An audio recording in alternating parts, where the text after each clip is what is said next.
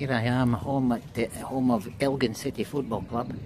Uh, I'm about to do a gig in their grounds.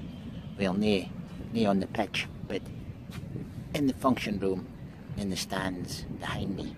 So, should be a good night. I'm, I'm looking, looking forward to it.